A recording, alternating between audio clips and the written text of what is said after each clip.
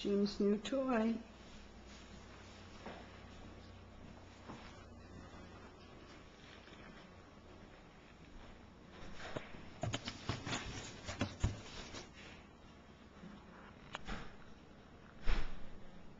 But in our new sump pump switch, the float has to travel that far to trip it.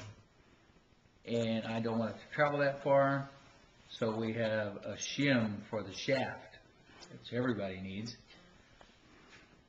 And we will alter the amount that this has to travel to trip this magnetic switch, so now it only has to travel that far.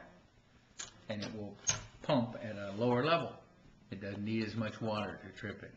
either. Switch is tripped. Water is gonna go.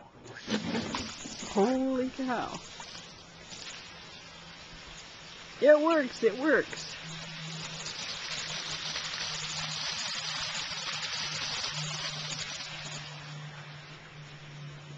Putting some water out in it. Yeah.